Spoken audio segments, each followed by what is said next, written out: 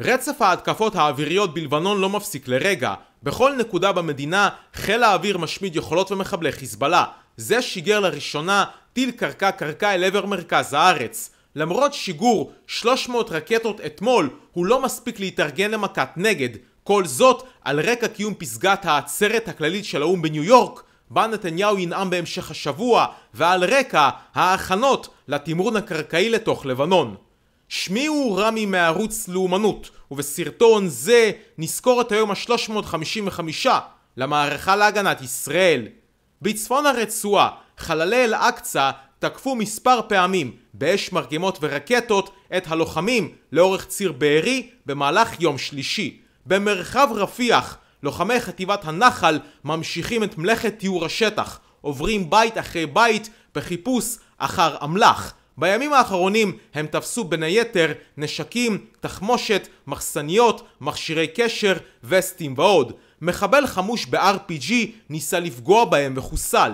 ביהודה ושומרון היו אתמול שלוש התנגשויות אלימות. ביום שלישי חיל האוויר ביצע ארבעה גלי תקיפות בכל רחבי לבנון. כמעט מחצית מהרקטות קצרות הטווח ולטווח בינוני הושמדו. לא ברור האם בימים האחרונים או סך הכל מתחילת המלחמה. חיל האוויר משמיד כל מחסן אמל"ח וכל משגר אפשרי ברצף תקיפות בלתי פוסקות. בשלישי הרמטכ"ל אמר שאסור לתת לחיזבאללה הפוגה. לצד זאת, ברשות חיזבאללה טילים מדויקים ורקטות ארוכות טווח שיכולים לפגוע במרכז הארץ, אותם ברובם הוא עוד לא שיגר. חיל האוויר בהכוונת אמ"ן תוקף ללא הפסקה ולא נותן לו את הפנאי לארגן התקפות כאלו תוך גריעת יכולות התקיפה שלו. בתקיפה ממוקדת בדחיה חוסלו שישה אנשי חיזבאללה ממערך הטילים והרקטות, בהם אברהים קביסי, מפקד מערך הטילים והרקטות, ומי שהיה אחראי על ירי לצפון הארץ מאז השמונה באוקטובר 2023. זה החיסול וניסיון החיסול השלישי בדחיה בתוך ארבעה ימים. חיל האוויר מחסל את שרשרת הפיקוד של חיזבאללה והיכולת של זה לארגן מטחים. משעות הבוקר המוקדמות של יום שלישי ועד השעה שמונה בערב נורו לצפון הארץ כ-300 רקטות ועוד שיגורי כטב"מים, שיא ההתקפות ליום אחד, ירי הכולל כטב"מים לבסיס עתלית, לבסיסי תעופה, לכל יישובי הצפון, מטח 50 רקטות לקריית שמונה שגרם לנזק רב כולל בבית העלמין המקומי. סך הכל 20 פצועים בשלישי, בהם מרסיסי מיירטים, נפגעי חרדה או כאלו שנפצעו בעת הניסיון להתפנות למרחבים המוגנים. היום בבוקר חיזבאללה שיגר לראשונה בתולדותיו טיל קרקע קרקע למרכז הארץ, כנראה בניסיון לפגוע בבסיס גלילות. אזעקות הופעלו בשרון כשזה יורד באמצעות קלע דוד. בסגירת מעגל מהירה חיל האוויר השמיד את המשגר שהיה מהדרומה לנהר הליטני. גם הלילה הותקפו עשרות מחסני אמל"ח בלבנון, בהם טילי אישיות. שר הביטחון גלנט ביקר בתרגיל שהתקיים בצפון המדמה לחימה קרקעית בשטח לבנון. הוא הודה ללוחמי הצנחנים והשריון שנלחמו קרוב לשנה ברצועה ועתה נמצאים בחזית הצפונית. גלנט אמר שלאחר השבוע האחרון חיזבאללה הוא כבר לא אותו ארגון. התרגיל היה בשילוב חטיבה 7 וגדוד 202 של הצנחנים. ראש הממשלה נתניהו דיבר מבסיס אגף המודיעין וקרא לתושבי לבנון להתרחק מכל מקום שבו יש מחסן אמל"ח ואם מישהו מאחסן בביתו טילים ורקטות יישאר ללא בית. הוא קרא לתושבי לבנון להשתחרר מהלפיתה של נסראללה. דוברות צה"ל בערבית קראה היום בבוקר לתושבי הכפרים לא לשוב עד להודעה חדשה. לפי שר החוץ הלבנוני, חצי מיליון כבר היו לעקורים במדינה. בהערכת מצב בקריה פורסמה תמונה של נתניהו עם הרמטכ"ל על רקע מפה. הלוי מצביע על מה שנראה כעיר צידון, אולי רמז לבאות.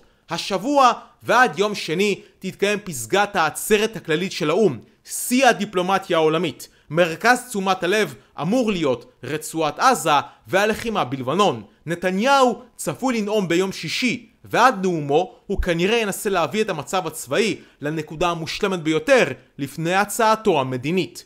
שורה של מנהיגים עולמיים כבר נאמו. מזכ"ל האו"ם גוטרס אמר שהמצב בעזה הוא סיוט בלתי פוסק וכך עלול להיות גם בלבנון.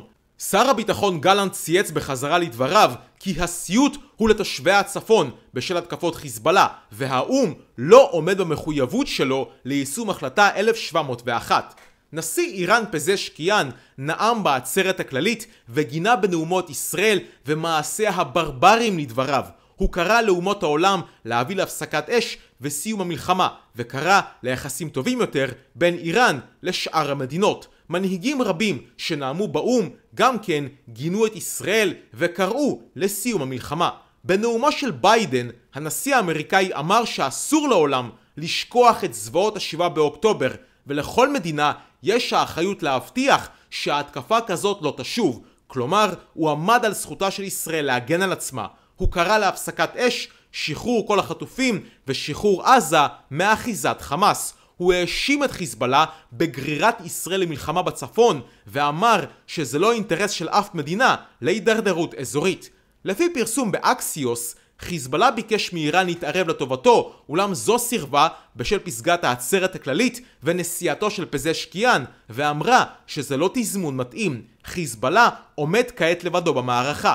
לפי ISW, למרות ההתקפה, זה לא צפוי להפסיק לשגר רקטות לצפון הארץ, ועדיף לישראל להגיע להכרעה מאשר הסכם, כדי למנוע מצב דומה בעתיד, הן בלבנון והן בעזה. אילו איראן לא תתערב, וגם חמאס וגם חיזבאללה יוכרעו, זאת תהיה עבורה מכה אסטרטגית ותודעתית. סדרה של תקיפות אוויריות אירעו ליד נמל טרטוס בסוריה. לפחות שני מחבלים של הג'יהאד האסלאמי חוסלו בדרום לבנון, והמיליציות השיעיות ביממה האחרונה תקפו את ישראל לפחות ארבע פעמים. כטב"ם אחד חדר לשטח רמת הגולן, ועוד אחד לערבה. אלו יורטו בשטח הארץ. המיליציות הבטיחו לשיירת משאיות האוויר אספקה. את השיירה הזאת, שתעבור דרך סוריה, חיל האוויר יצטרך לסכל. חיזבאללה נשען על תמיכה חיצונית של פלגים פלסטינאים או מיליציות בציר השיעי, חושש שתמרון קרקעי הוא רק עניין של זמן. ישראל ביקשה מארצות הברית ללחוץ על איראן להימנע ממעורבות ישירה בהסלמה בצפון. בימים האחרונים האסטרטגיה של ישראל בנוגע לחזית הצפונית נהיית יותר ברורה. במקום לצאת במכה אחת גדולה בתחילת המערכה, מה שהיה מעורר את חיזבאללה על כל יכולתיו, היא בחרה בהסלמה מבוקרת מתוך הבנה שנסראללה מחויב לציר ההתנגדות אולם לא מעוניין במלחמה. אחת ממטרות המלחמה המוגדרות הייתה להשמיד את חמאס, לא חיזבאללה, וצה"ל כרסם ביכולות של ארגון הטרור השיעי אחת אחרי השנייה באופן מדורג לאורך מעל ל-11 חודשים. זה איבד את היכולות, אולם לא הסלים מפני שלא הוכרזה מלחמה מלאה, וישראל תמיד השאירה לו את האפשרות לסגת מהתמיכה בחמאס, בידיעה שהוא לא יוכל עד שזה כבר היה מאוחר מדי בשבילו, והוא מצא את עצמו במלחמה לא מוכן. משעות הבוקר המוקדמות ועד שעות הצהריים, חיל האוויר תקף 100 מטרות ברחבי לבנון. היה ניסיון חיסול של מפקד הר הלבנון בארגון הטרור. משעות הבוקר של יום רביעי הוא שיגר מטחי רקטות למרחב מנשה, נחל עירון, הכרמל, טבריה, רמת הגולן ואפילו מטח של 40 רקטות אל עבר צפת. בשעות הצהריים עוד מטחים של עשרות רקטות. חיל האוויר תוקף בנבטיה שמצפון לליטני. במהלך היממה הזאת חיל האוויר תקף 60 מטרות של מטה המודיעין של חיזבאללה, מה שעוד יותר מקשה עליו ליצירת תמונת מודיעין והתנהלות. לחץ בלתי פוסק. לקראת התמרון הקרקעי הוכרז על גיוס שתי חטיבות מילואים לצורך משימות הגנה בצפון. ומפקד פיקוד צפון קיים הערכת מצב עם חטיבה 7 ובין היתר אמר נכנסנו לשלב אחר צריכים להיות ערוכים לכניסה לתמרון ופעולה בכל אופן הקרבות ממשיכים. זו הייתה סקירה של ערוץ לאומנות על היום ה-355 למערכה להגנת ישראל. אם אהבתם את הסרטון אתם מוזמנים לשתף אותו ולהצטרף לערוץ כמנויים